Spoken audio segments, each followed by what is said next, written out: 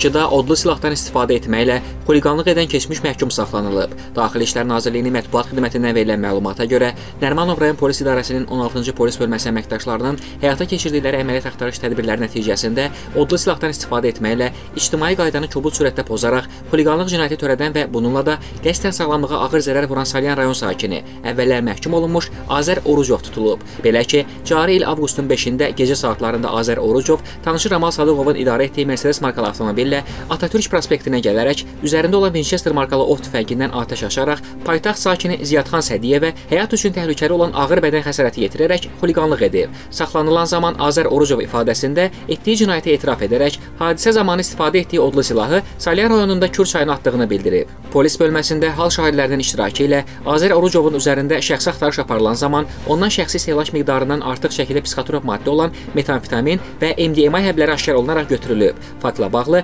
Nərmanov rayon polis idarəsinin istintaq şöbəsində cinayət işi başlanılıb. Əməliyyat istintaq tədbirləri davam etdirilir. Azər Orucovun qanunsuz əməllərindən zərər çəkən başqa vətəndaşlar varsa, onlardan aidiyyatı üzrə Nərmanov rayon polis idarəsinə müraciət etmələri xahiş olunur.